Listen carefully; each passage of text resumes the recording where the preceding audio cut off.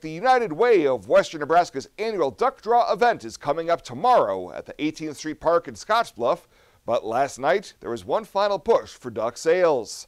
The Business After Hours Quackers and Cheese fundraiser was held at Team Auto Center, and attendees were encouraged to purchase their final ducks ahead of Saturday's big draw. United Way Executive Director Steph Black says this event always has a great turnout and a strong push towards the finish line. This is the final push, and we always sell a ton of ducks here. Um, but most of all, this event is to thank our sponsors and our community. This year's top two prizes include a brand new Toyota RAV4 and a Honda 500 side by side.